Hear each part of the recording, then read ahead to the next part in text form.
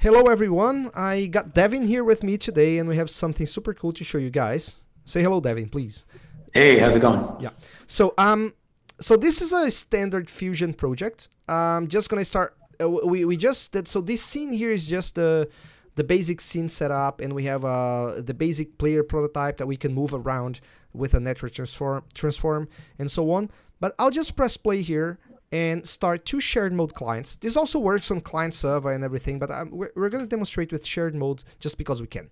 So I'm starting two shared clients. So we're, we're going to have the characters spawning, but they have some surprise thing on them. Let's let's let's start here. So what what are we seeing here, uh, Devin? First, I'm gonna I'm gonna make sure we do something cool here, which is I'm gonna control one character in one machine, but I will disable the view of that machine. And I'm going to disable the controls for the other machine. So basically, we're seeing what is on the display of client 1, but I'm controlling the object that was spawned by client 0, just to demonstrate about receiving data. Devin, what are we yep. seeing here? Uh, so these you added these, which is the uh, basically an in-game um, stats panel and what you're seeing is that little meter flashing red and yellow shows that there's actual bandwidth coming from the network properties. Of that particular yeah. object, right?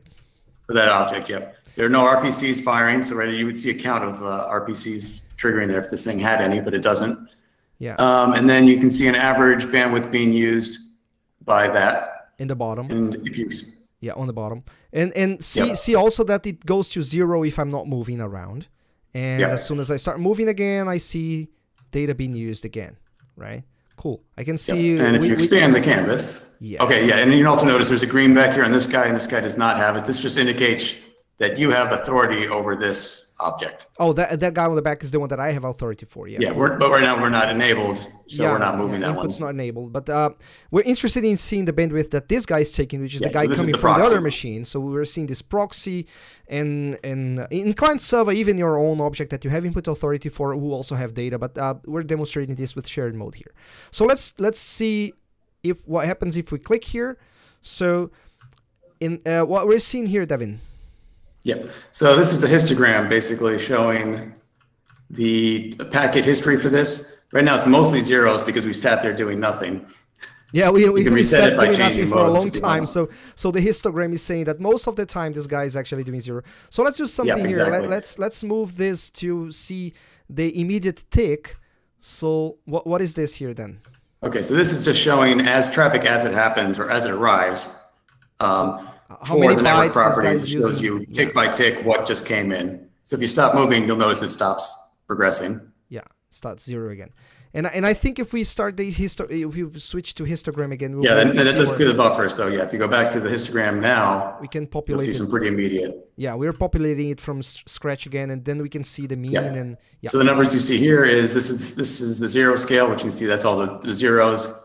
This is the um, the scale of this entire histogram. So yeah, any bars on this side would be 37 bytes. Yeah, and this just, is showing the actual traffic. Yeah, but the yellow bar is the mean, which is going to be the the object or the the most uh, the data size that's the most frequent. Common.